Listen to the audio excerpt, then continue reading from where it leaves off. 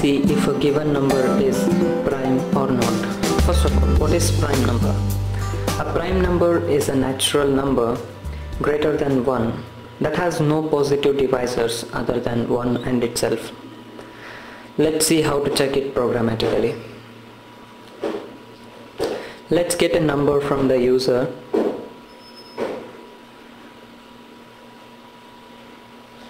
to check if it's a prime number or not. Let's store it inside a variable, integer variable called num. If user enters a value of 7, for example, we need to see if 7 is divisible divided by 2 to 6 so the loop starts from 2 because every number will be divided by 1 so the loop should start from 2 to 1 less than the entered number if the user entered number is div properly divisible by 2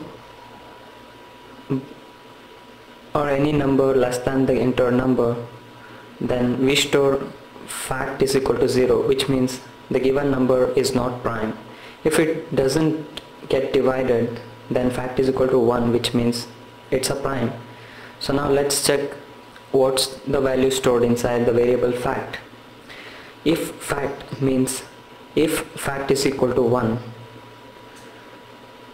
percentage d is prime or else it's not prime. It means the control has been exit from this break statement I highlighted just now. Let's compile and execute it.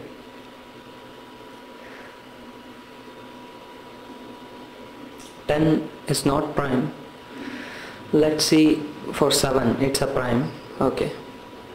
So see here if if the user enters 500 this for loop needs to be executed from 2 to 499 times. That's a lot of looping. So so let's make it let's optimize it. For example divide the entered number by 2 and then iterate through the loop. It, if the user enters 500 we shall do 500 by 2 which means 250 the for loop will be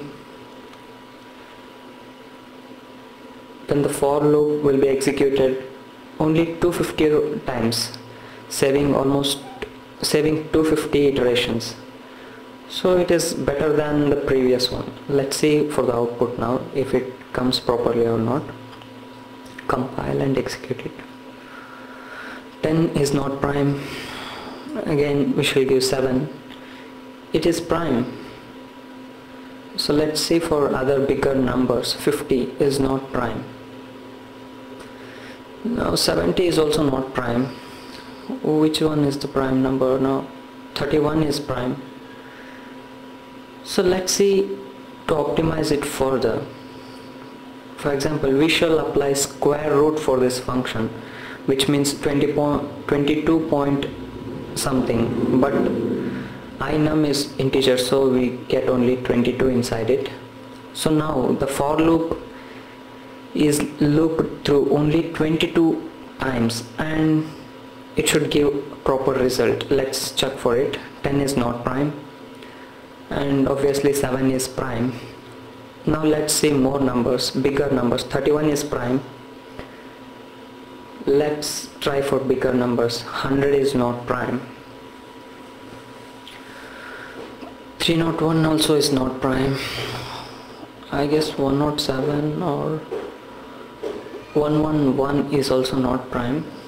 107 is prime. Okay this logic should work. This I guess is the optimum logic.